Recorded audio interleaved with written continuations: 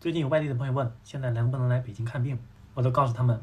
暂时先等一等，不要来北京或者在当地看，因为第一个，现在北京医生和护士感染的人数比较多，医院人员短缺。第二个呢，就是现在来医院看病的很多都是阳的，包括医生护士也是阳的。那么在就医住院的过程当中，你也可能会变阳。如果你要来医院看病，要做好阳的准备，并且来医院看病的时候一定要全程戴好口罩，最好是 N95、KN95 或者是医用防护口罩。但是那些很重的疾病、不能等的疾病，该看还是得看。比如说得了肿瘤要做手术，要做放疗和化疗；还有一些急症，比如说急性的阑尾炎、急性的胃穿孔、急性心梗、脑梗等等，这些不救会危及生命的，那么随时来医院看。医院的急诊二十四小时都开着，没有核酸、没有开源都不要紧，抢救生命是第一位的。即使你是阳性的人员，我们也一样救治。咱们有专门的手术室，专门给那些阳性的患者做手术的。只不过做手术的时候，医生护士会辛苦一些，因为要三级防护，穿的厚厚的。很多专家呢也预测了这个。第一波高峰期可能一个月左右就会到达，